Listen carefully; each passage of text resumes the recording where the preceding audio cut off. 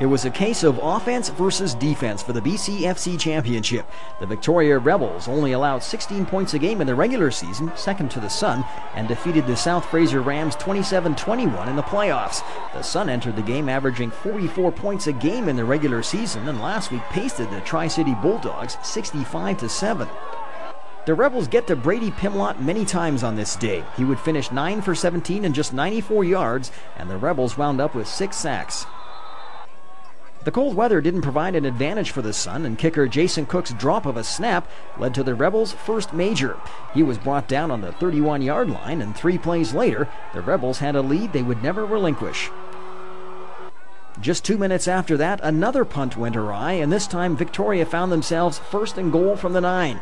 Rebels QB Matt Nichols scrambled in on the next play to make it 13 0. A rare Sun offensive spurt sees Pimlott go long to Duncan Akers, but that drive would stall at the hands of yet another sack. A crucial third quarter stand with the Sun facing third and inches on the Victoria 9 was the key play of the game. Pimlott pitches to running back Jeff Halverson, and he is sent flying and falls short of the first down. The Rebels promptly march 101 yards to seal the game with a 39 yard Nichols to Matt Hale TD pass. The Rebels smothered the Sun at every opportunity, including Special Teams Player of the Year James Green.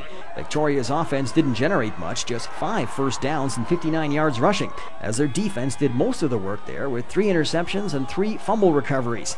The Rebels finish off the Sun with a rare shutout to take the BCFC championship. Sun coach Jay Christensen says his team was not overconfident before the game on Victoria. They weren't focused. They weren't looking past them. You know, we knew that they played us tough down in uh, in Victoria, and uh, we're in for a battle. We knew that. You know, we just, you know, I mean, it came out. They came up and hit us in the mouth. Simple as that. No one ever thought we'd come in this building and shut these guys out, but but we did, and uh, uh, we, uh, we just we just believed in what we were going to do, and uh, we played with heart, and I thought we had the we were the team that came with the most heart today.